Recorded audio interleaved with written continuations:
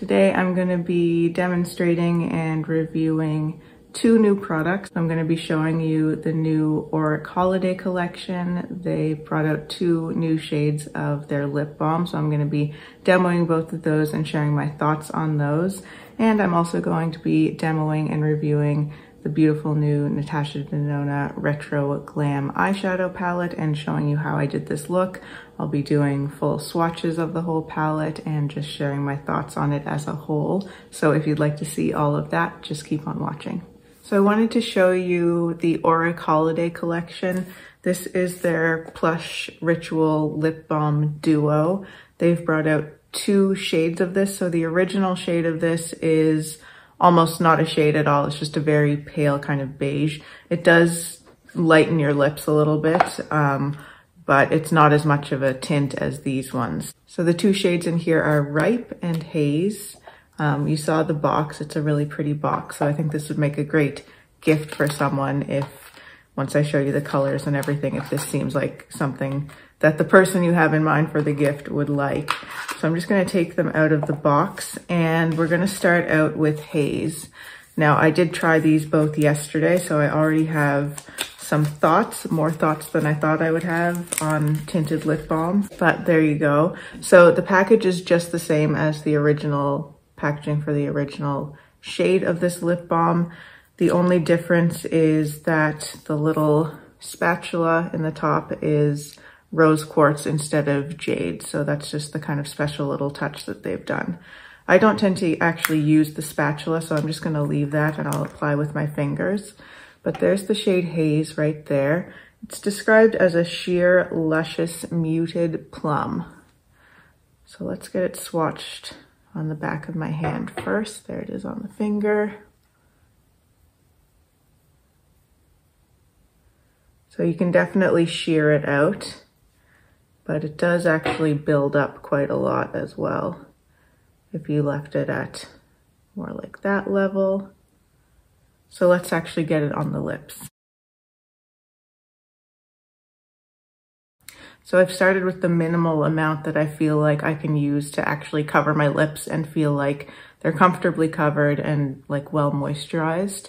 So that's what kind of the sheerest layer of haze looks like, but let's build it up.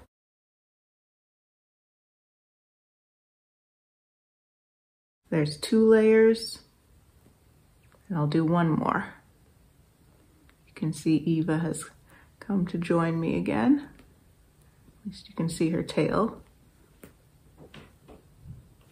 So there's three layers of haze. So I actually quite like this color. I was expecting to like Ripe, which I'll show you in a moment, more than Haze, just because I was concerned that Haze would be like too cool toned. Um, and it is a little cool toned and it's a little more purpley than I would tend to go for, but I think it's still really wearable and a very pretty shade and actually quite unique, at least among the lip products that I have. So I can definitely see myself getting quite a lot of use out of this one and really enjoying it. This formula is truly one of the best lip balms that I've ever used. It's funny because the brand talks about it being you know, their most repurchased product and that's great. But I think the reason it's the most repurchased is because there's so little product in each of these little tubs. There are only three grams in this, so it's very easy to go through. I went through my original one and haven't repurchased it until buying these new shades because gram for gram, it's like the most expensive lip balm I've ever encountered. It's even more expensive than the By Terry Baume de Rose, which is another favorite of mine. It's more expensive than the La Mer lip balm even. So um, you do get a very small amount, but it is really a beautiful formula. And even once it's worn off, like I rubbed off all of the haze shade, but I can still feel that moisturization on my lips. So it is a really very good formula, just extremely expensive. So here's the shade Ripe, and Ripe is described as a sheer, juicy, muted cherry. And it's with the word muted that I begin to take issue because this to me is shockingly vibrant given what I was expecting from it. So there it is quite sheared out. Build it up a little bit. You can see that there, so ripe and haze. And let's get ripe on the lips.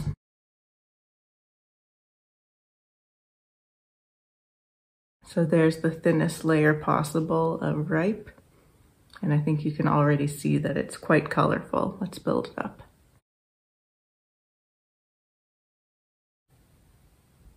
Two layers of ripe. The third layer. It's almost like wearing like a sheer or semi-sheer lipstick to me with how pigmented this is. And to me, that color is not muted at all.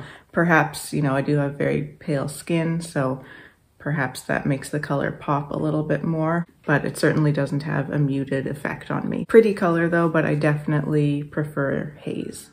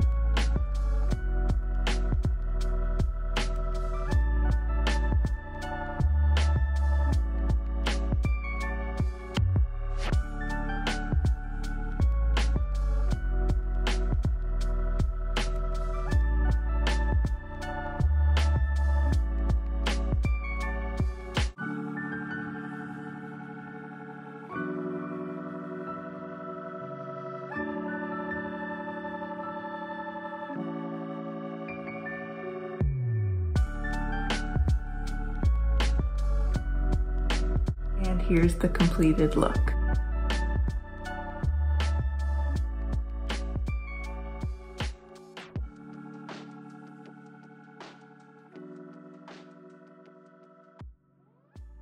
So you saw me finishing off with these two liners. I used the olive liner from Victoria Beckham, which is a beautiful pairing for the greens in this palette. And then I used the Rose Glow liner from Pixi. I put this just on like the outer part of my lower lash line and then I actually did my whole lower waterline with it, but it looked too dark to me. I didn't like the way it looked in this look. Um, so I ended up covering it up with the Victoria Beckham Brightening Eye Kajal just to add a little bit of brightness back into my lower waterline. I just found that looked a little bit too dark and kind of closed my eye up with this look. So I wanted to get into swatching this palette and um, just going through the shades and the shade descriptions from Natasha.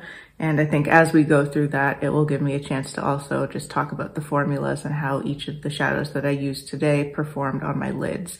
So let's do this Lauren May slash Martina Lily style and do individual swatches of each shade on my hand. This time I'm gonna go, or I'm gonna try to go from lightest to darkest, or at least do the pinks first before I move into the greens because uh, I think the greens are gonna leave quite a lot of color on my hand. So let's start with Lucy right here, which is a matte light limestone. Now I didn't use this shade in this look today. I didn't use either of these more kind of neutral, kind of taupey shades. But I think these are actually quite exceptional because I swatched them yesterday when I first got the palette and they do have this beautiful green undertone. They're like beigey taupes, but with a green undertone. I'm actually gonna go into Fay next, which is the slightly darker kind of version of this shade. It's described as a matte, medium, muted clay. I'm just gonna put it right next so we can see them compared to each other. These are both powder mattes. There's actually only one cream to powder, and I'll let you know when we get to that one. But there are those two shades, and they're really gorgeous. I can't wait to just do like a super natural, super neutral look with like this all over the lid kind of, and then this to just deepen it up a little bit. I think that's gonna be absolutely gorgeous. Sticking in that color family, we're gonna go with Oscar next. And Oscar is described as a metallic light medium vintage champagne.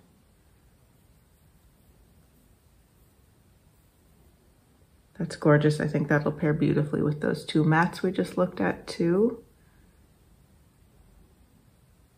Every time I see the shade, I've watched a couple of reviews. I've tried to hold off from watching too many reviews of this palette before I had a chance to play with it and form my own thoughts, but I have watched a couple.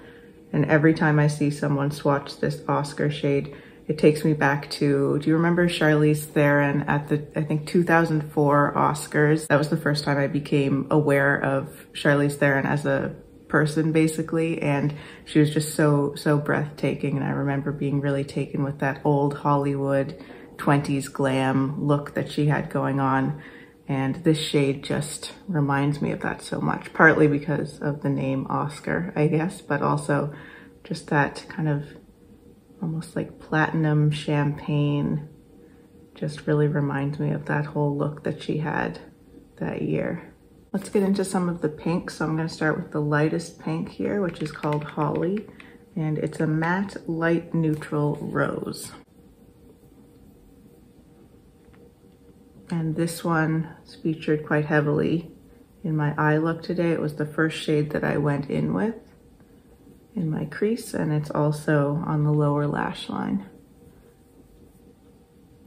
I actually love this shade. It's uh, It takes a bit of building, but you can get there or you can just start with more. But especially when I'm first using a palette for the very first time, I like to build really gradually. I think it's a perfect kind of light pink color. It's not peachy at all. It's not one that's turning orange. It's just that beautiful kind of light babyish type pink. And then we have our darker pink matte here, which is called Belle. Matte Medium Dusty Rose. And this is another one I'm really happy with. I think you can almost kind of see the mauvey purpley notes in that rose, which again keeps it from going orange, keeps it firmly in that kind of cooler, neutral, rosy pink category. And it pairs beautifully with the lighter pink that we just looked at. Then we have our metallic dark pink, which is not listed on the Sephora website for some reason, but this is in the sparkling metallic formula. And similar to the darker pink matte that we just looked at, you can see that it's firmly in that pink category, not going too peachy. It's got a little bit of mauvey purpliness to it, and I did use that one in this look as well. I also used the darker pink matte. Let's do Flutter next, which is the only chroma crystal in this palette. It's described as a sparkling light champagne pink. I personally don't really pick up much pink from this one. I guess I can see a little bit, but I don't know that I would think of that on my own.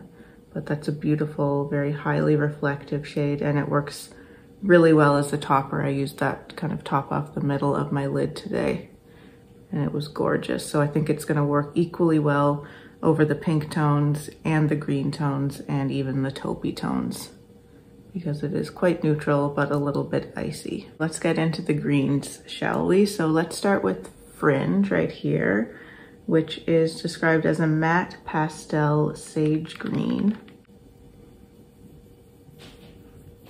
This one's beautiful. I wasn't going to use this in my look, but I ended up just kind of finishing off blending my metallic greens and darker mattes kind of into that original light pink shade with this. Did a really beautiful job of that. I'm gonna do the next one right next to it because I wanna see how they look next to each other. So I'm gonna do Sage next. And Sage is described as a matte medium sage green. It's a little bit more blue toned than um, fringe right here, but they're very similar colors. Just that sage is a little bit deeper and a little bit more blue toned. I'm also gonna pull Evergreen into this same little triad of swatches. So this is the one cream to powder in this palette and Evergreen is a medium dark sage green. And the cream to powders usually look darker in the pan than on the eyes but you can see we're getting actually decent depth from that one. So I did end up using all three of these greens in my look today. And I just love the way those cream to powders spread and diffuse. They just kind of keep going and going. Now into the metallic greens and I think I'll do the same thing and swatch all three of them together. So starting off with Marlin, which is a metallic light medium sage green. So we're getting a lot of very similar descriptions for these green shades. They're all being described as sage greens of varying depths and varying finishes. So there's Marlin. That one is absolutely stunning. That's the one that's kind of in the middle of my lid. And then we're gonna go into Oz right here which is a metallic, medium dark, muted forest green. Okay, so this one's described as a forest green as opposed to a sage. That one right there. And that's the one that I have on the outermost part of my lid. And you can see it is described as a forest and I think that is reflected in the tone. It's much more what I kind of think of as more of a, a true green or a just slightly warmer green than the sagey ones that we're getting that have quite a lot of blue in them. And then we have Palladian, which is a metallic pastel sage green. And this one is super bright as well. And that's what I have on the innermost part of my lid. And now I think we're finally at our last two. We're gonna do these together as well. So we have Jazzy right here, which is a metallic dark cool brown.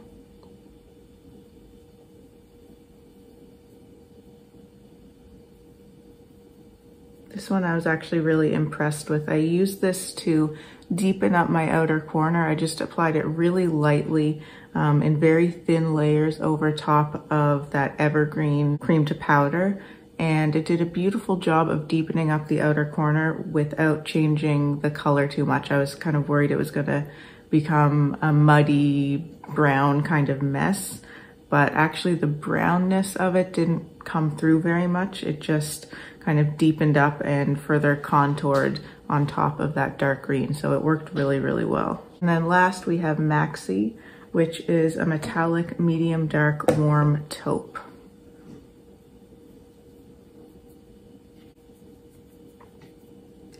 And I especially wanted to swatch these next to each other because this to me is the most annoying thing about this palette is that these two shades are so similar. This one's a little deeper and cooler. This one's slightly lighter. It's still pretty cool, but you can see a little touch of warmth in the undertone. But both of these do not need to be in this palette in my opinion. I'll insert the whole palette swatch now so you can see that.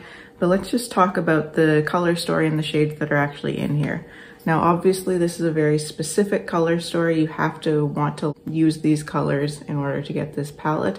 But I think that if you like these colors, then you'll be very happy with the quality of this palette and the way that these shades work together. For me, I think I will probably tend to do more monochromatic looks. So I'll either stick to a green look or that kind of beigey taupey look or a pink look when I'm using this palette because that's just the way that I think it will work best although I'm pretty happy with how this one turned out today with focusing on more of the greens on the lid and then the pinks on the lower lash line. I think they blend together really well. And I also think that the more taupey neutral shades in here will pair well with either of those two more colorful color stories. However, I don't think this is a perfect palette. I've already talked about how I think that these two shades are redundant. We really only need one of those.